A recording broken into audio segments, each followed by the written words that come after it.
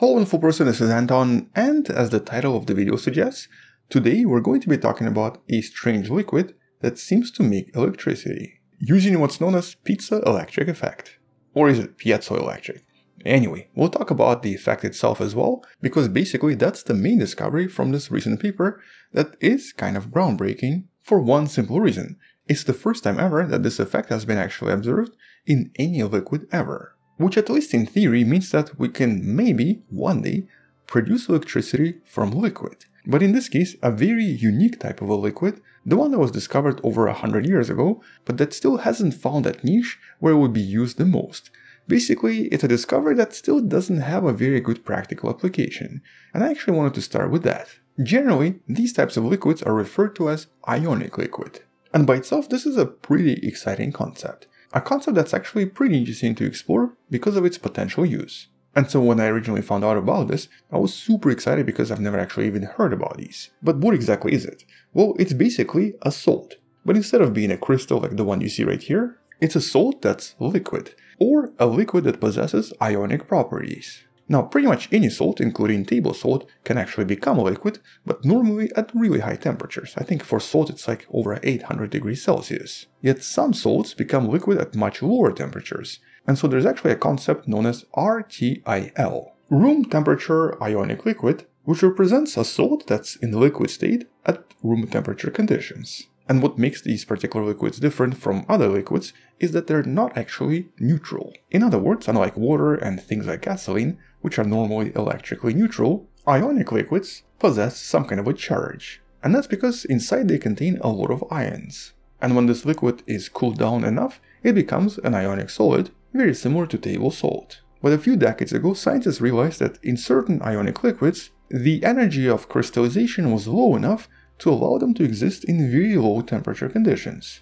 In some cases, even sub-zero conditions, going down to some pretty low temperatures in general, but in this case the actual substances were a lot more complex. But intriguingly enough, despite their discovery, and despite their unusual properties in being basically a salt but also a liquid, even decades and decades later, nobody actually found a niche yet where these liquids could be used for some sort of an important purpose. In other words, it's like a product that just doesn't have a very good use yet. But room temperature ionic liquids have even been discovered in nature. For example, when certain types of crazy ants get in a battle with fire ants, in order to protect themselves, they basically cover their own bodies with formic acid, which when mixed with acid from fire ants, ends up creating a very intriguing ionic liquid, surprisingly protecting their bodies from any damage. But that's actually the only known use in nature as of today. When it comes to more industrial use, there have been a lot of attempts to try to use these liquids for various purposes.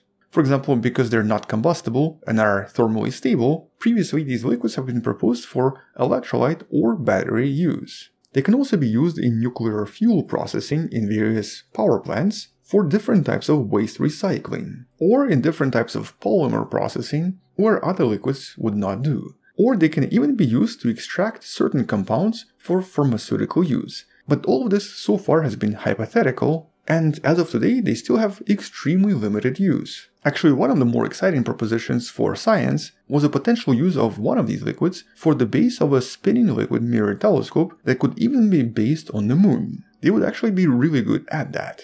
But one of the highest potentials for their use would be in solar thermal energy, for example in various solar power towers that use a unique technology in order to produce and then store energy. There's a video in the description that describes this a little bit better. And so in theory, the storage of energy in this case could be done by these unusual salts. But now, 150 years after their initial discovery, someone accidentally discovered a completely new phenomenon that these liquids contain, which in theory could make them finally useful after all. Here we're talking about piezoelectric effect, or piezoelectric effect, whatever you want to call it. The electric effect that up until now has only been seen in solids and mostly in crystals. And that's of course when you produce electric charge by applying pressure to a certain material. For example, that's the effect used in various quartz clocks, where if you actually supply electricity to a quartz crystal, it will start producing pressure and vibrating, and of course vice versa, if you were to press it, it would produce electricity. But apart from crystal watches and a lot of other smaller devices,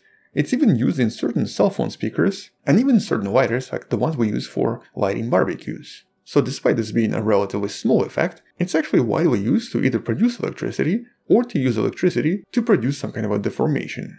But for the most part, this phenomenon has always relied on various crystals, usually containing specific ions on the inside. Yet now the scientists have confirmed it seems to also happen in liquids, ionic liquids. And moreover, ionic liquids that can actually stay liquid at room temperatures. And like with so many other discoveries, found completely by accident when the researchers accidentally applied pressure to the cylinder containing the liquid. And they discovered that it seems to release electricity. The more pressure they applied, the more electricity it released. In the process, realizing that there seems to be some kind of a charge that builds up inside of these liquids, released suddenly when you apply pressure to all of this. Although important side note here would be, it's not a lot of charge. It's about one tenth of what you would expect from a similar sized crystal. So in that sense it's not super efficient. But it possesses properties that crystals do not possess. For one, being a liquid, it means that we can actually create any shape, potentially allowing us to have various designs for future batteries.